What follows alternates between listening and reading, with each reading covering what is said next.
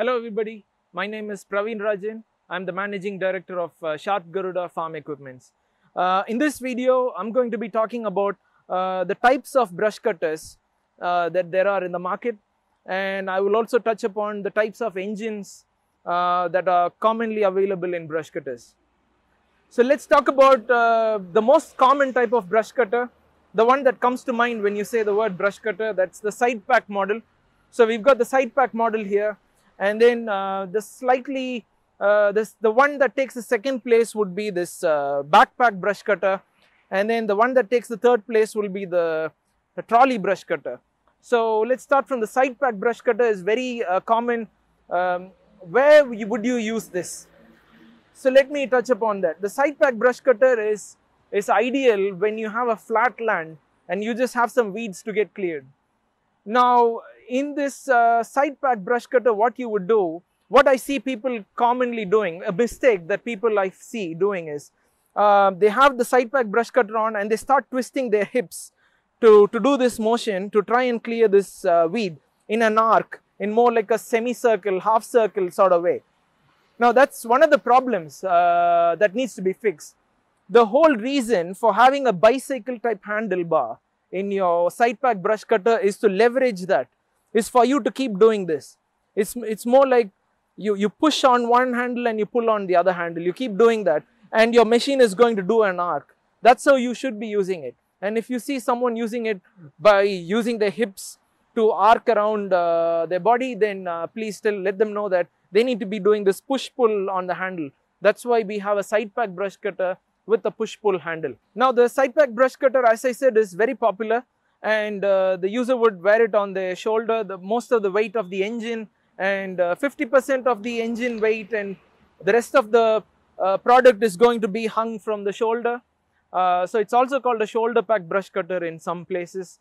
Um, it's ideal for flatlands, etc. And it's also good for slopes. So if you're going on a slope and you got to clear some weeds on the slope or trim grass on the slope, the side pack, side pack brush cutter is ideal for that.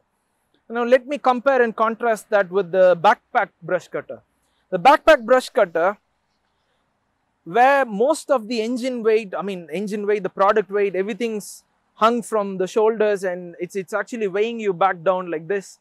Um, and um, one of the, that's the disadvantage that I'll tell you of the side pack brush cutter, backpack brush cutter is that it's quite heavier than the side pack brush cutter because it's got a frame, it's got some cushion, it's got some springs, and then there is a flexible shaft.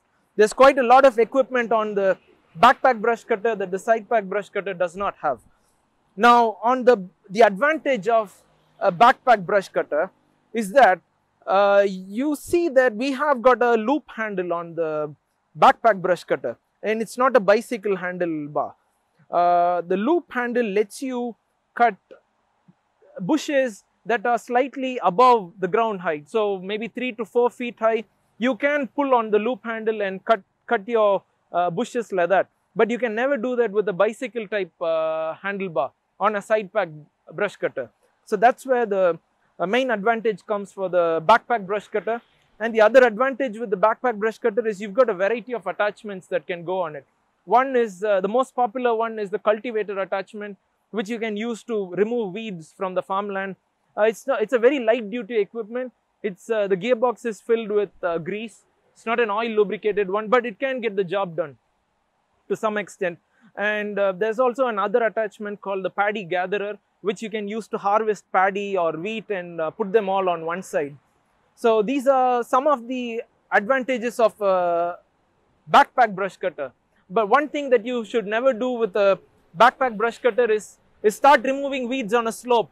When you do that, because of the weight of the engine and your own weight, your center of gravity is going to be shifted behind and you're very prone to falling over your back. So if you plan to remove weeds on a slope, always choose a side pack brush cutter and not a backpack brush cutter.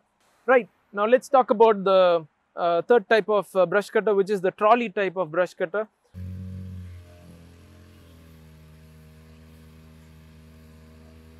Now, um, the advantage is quite obvious. Uh, the majority of the weight of the product is uh, rested on the two pneumatic tires and on the ground. So, your back is relieved from uh, carrying all the weight. So if you are someone that's got back problems and uh, you don't want to carry uh, that weight on your shoulders or you've got a larger piece of land and you cannot be bothered to carry something on your shoulders for such a long time, then the trolley brush cutter makes uh, perfect sense. Uh, the trolley brush cutter again, uh, the it's limited in terms of purpose. You can have one of those uh, tap and go nylon cutters or you can have a multi-teeth blade or a three-teeth blade, whatever on it. And you, you can do the same half circle arc that you do with a side pack uh, using the same machine. You can still do that with the wheels. Uh, the wheels are not connected to each other, so they can spin independent of each other. So you can still do the arc motion with it, and it's very comfortable. Um, it takes all the weight off your back, and you can use it for however long uh, you have to. There's no vibrations that are coming through your body uh, because it's got its own pneumatic tires, etc.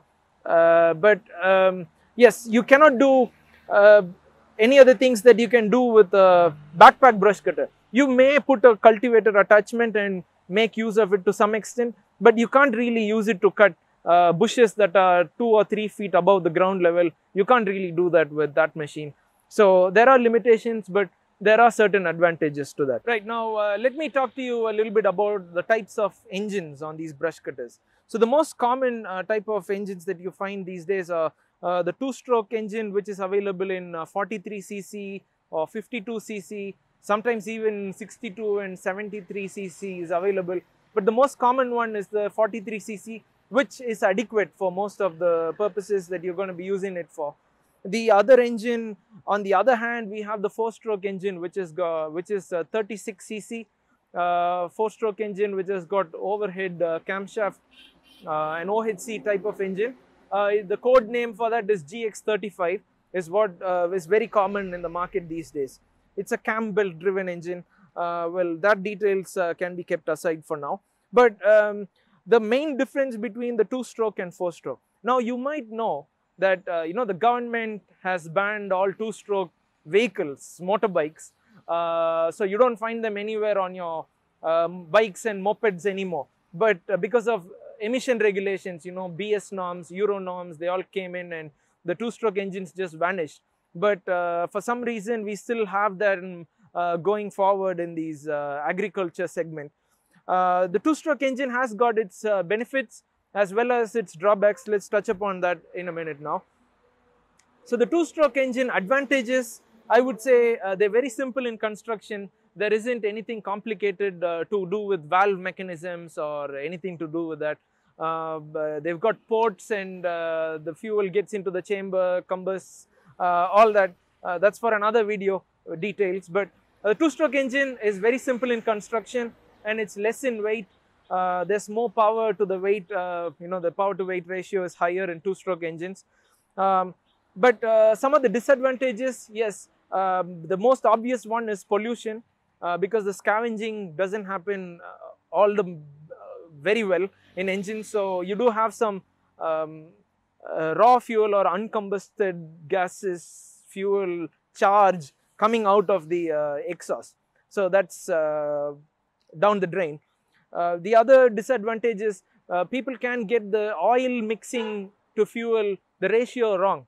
So my recommendation is never mix anything more than 25 ml to 30 ml of uh, two-stroke oil per liter of petrol. Now, uh, some people keep mixing up to about 50 ml of oil into the petrol. Now, I highly uh, recommend against it.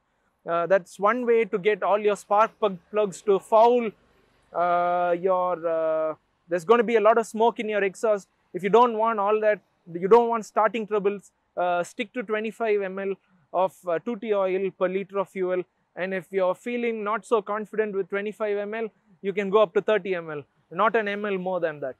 You can take my word on this. And only mix 2T oil, never mix uh, 20W40 or engine oil just because it's laying around. They're not interchangeable. 2T oil is 2T oil and engine oil is engine oil. Never mix them together. Now, some of the problems with the two-stroke oil is that, like I said, the people can get uh, people can get the mixing ratios wrong, and it can ruin your engine very quickly. Uh, if your uh, people mix very little oil, then you're going to wear out the pistons and rings, etc. If you're going to mix more oil, then as I said before, smoke, plugs going out, all that's going to be there. Um, so that's your two-stroke disadvantages. Uh, the four-stroke engine is slightly heavier, but uh, you don't have to bother about mixing fuel and oil together, what ratio it goes. So you've got your regular engine oil going into the crankcase. Uh, when we talk about that, uh, let me let me just tell you right now, uh, no more than 80 to 90 ml is required in the engine crankcase. Do not put 100 ml or anything more than that. Do not tilt the engine and uh, fill it up until the brim of the of where, where you pour the oil. Don't do that. You only have to uh, pour in about 80 to uh, 90 ml of oil. And uh, I would recommend that you use 10W40 engine oil not 20W40 if that's what you have you can use it uh, that's better than nothing. But if possible always use 10W30 that's because uh, the engine's tolerance is, uh, is very small and it works best with the 10W30 type of engine oil. Um, now in the four stroke of course you've got very little smoke coming out because you're not mixing any oil with it and uh, you um, the maintenance on that is uh, you'll need to replace your engine oil every 50 hours. That's because there's no oil filter as such on this engine. It's just by design. It's nothing wrong. Just by design, there's no oil filter on this engine. So you will need to uh, replace the oil every 50 hours or so. So that's something uh, that your four-stroke engine. One major advantage with the four-stroke engine is that it consumes about uh, 60% of the fuel that a two-stroke engine would consume, equals I mean. Uh, so you save about 40% of fuel um, when you're using the four-stroke engine. The, the difference is fairly visible. The, the, the week that you start using a four-stroke brush cutter, you're going to tell right away that you're saving a lot of fuel. So the difference is that visible. You don't have to have a piece of paper and start writing down the time of operations, etc. Uh, so that's there. That's definitely there. I'm pretty sure going forward, uh, four strokes are the way ahead in terms of engines as such. Uh, when maintained well, they, they, really don't give you any trouble uh, with the regarding uh, engine longevity, etc. There's no trouble at all. We've used quite a lot, and there's quite a lot in the market as well. So no worries about that. Now, while we are on the topic of engines, I'd like to tell you um, a little maintenance tip always make sure you're taking care of your uh, air filter uh, because uh, if a badly maintained air filter um, lets through dust and your any foreign particles inside your engine quickly wears out your piston rings and all of that. So, um, you know, be careful, uh, always uh, wash your air filter in soapy water. Don't use petrol or anything. You'll just, your air filter is going to disappear in your hand if you put petrol on it. So, uh, uh, the, the sponge reacts with petrol all that. So always use uh, soapy water, uh, wash your air filter and put it back before you run the machine for the day. If you're running in a very dusty environment, I'd recommend that you wash your air filter every day.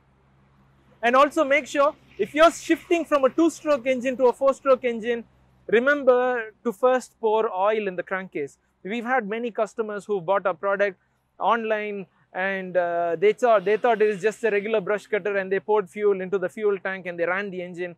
And uh, next thing you know in five minutes time uh, your engine seized because there's no oil in the crankcase. So that's an expensive repair. We had to replace your rings piston your crankcase cylinder everything had to be replaced. That's as good as replacing your whole product so just be uh, cautious on that uh, the last product that I've got to talk to you about here is the electric brush cutter this is our latest and greatest machine I can say that we've added to our portfolio. Now this is uh, not the regular run-of-the-mill electric brush cutter that you may find on your Amazon or on your uh, your favorite dealer shop. Um, I'll show you a photo of that product um, just about now. Now that's your regular brush cutter. It's got a brushed DC motor. Your brushes go off. You'll need to replace your brushes every now and then. It's not got a lot of power. It runs somewhere around one hour. In our field trials, it not it did not run anything more than an hour. Now this brush cutter, what we've got here is uh, is is designed for our purpose, and um, we brought it now to India. Uh, we were selling this uh, in another country before. And now it's got two speeds. This is a professional model as I call it because it's got a brushless DC motor and it's got a, a lithium polymer battery in it. Uh, the battery lasts for 4 hours.